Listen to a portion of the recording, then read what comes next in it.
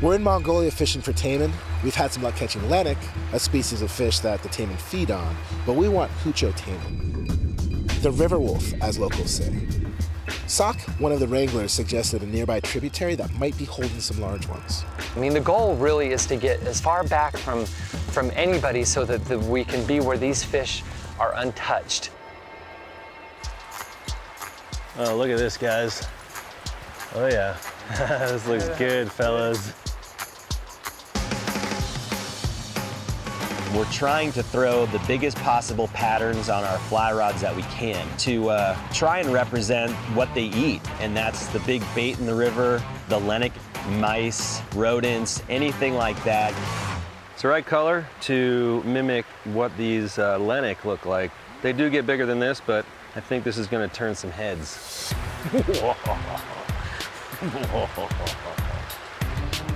All right, this is going down. I'm gonna get a taimen out of here. I'm not sure if I can cast this fly. It's absolutely humongous. Oh, come on.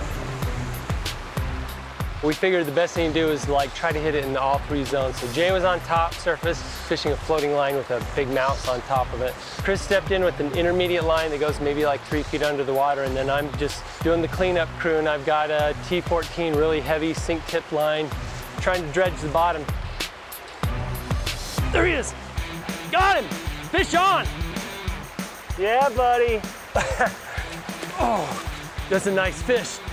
They pull so hard. Oh my gosh. Oh man, I'm gonna need some help. I got it. I'll be your tailor. Got him. Nice! Nice one, Thad. Ah, yeah! you got it on that fly, too. I did, dude. Nice. I didn't know you had the sink tip. Oh, man. Oh yeah, look at that thing. Oh, it was a long journey to get here. And this tributary that the Sock put us out is definitely worth it to me. Good job. Yeah, thumbs up, buddy. Yeah. That's awesome. Just being able to get that time in, that's just one of the greatest feelings you can ever have. You know, big fish that put up a big fight. And just that whole experience of everything coming together, it was absolutely fantastic. All right. Uh, thank you. Worth every mile. Some of the other guys have caught some small ones, but I want a big one. That's why I came to Mongolia. I want a big taimen. I want something that's humongous. I want something that's 60 inches. So it's starting to get pretty late in the day. Now we have to get back to the main river. It's gonna take a lot of time in between campsites, floating down from one to the next to fish. So we really have to manage our time wisely. It's time to continue the journey on rafts. Sock. Is this where big taimen? No. No. Down there. You guys bringing Sock down the river? Yeah. You going? He's coming with? Want to hop aboard? Eh? Sock is going to join us for the next stretch of the river, while the other wranglers take the horses and make their way downstream. Now, this is not a horse, but we can still pack a lot of stuff and go cool places. The luck charm is aboard on the port side. This dude is, uh, is the guy that runs all the horses. He's also my tent mate, and we, we have good nights building fires. And learning some Mongolian. I've been learning. That's like the worst cuss word possible. Jay, what did he say about this spot? So right through here. Is this the spot? Yeah. Sock told us about some untouched waters up here, and uh, hopefully that means some, some big untouched fish as well. Give me something big. God, this fly is huge. It's like casting a chicken. I'm casting the incastable because I want big taimen. And to get them to come up to the surface, I think it's gonna take a big, big, big, big fly to move them. Oh. Oh, for heaven's sake. You okay? Oh, yeah. That felt good. That felt really good. Did it go in the skin? It was in the skin for sure. I pulled it out.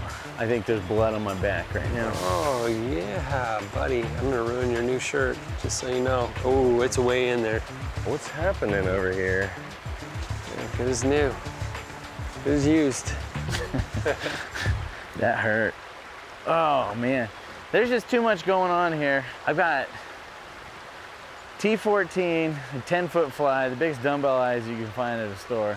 Just not, I'm basically trying to throw a rig that's uncastable.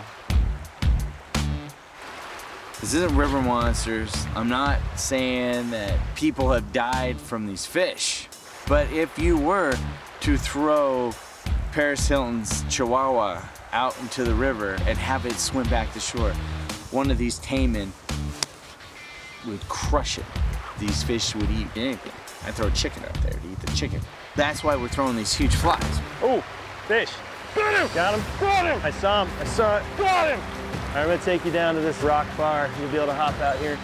Oh, dude, this is a big one. It's deep here. Oh, Brian, I'm not sure how we're gonna land this thing here. Hey, it's just gonna get deeper if you go that way, you know that? Uh-oh, it's too deep.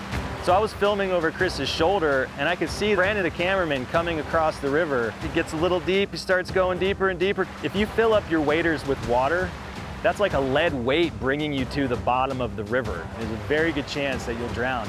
We're gonna have to do a rescue mission here. Hey, keep it together, stand up. Yeah, he's going down too far. Get in the raft. Get in the raft, Brian. Go get him. Don't drown your waders, just stand up. Hurry up, Brian. Just stay up, stay up.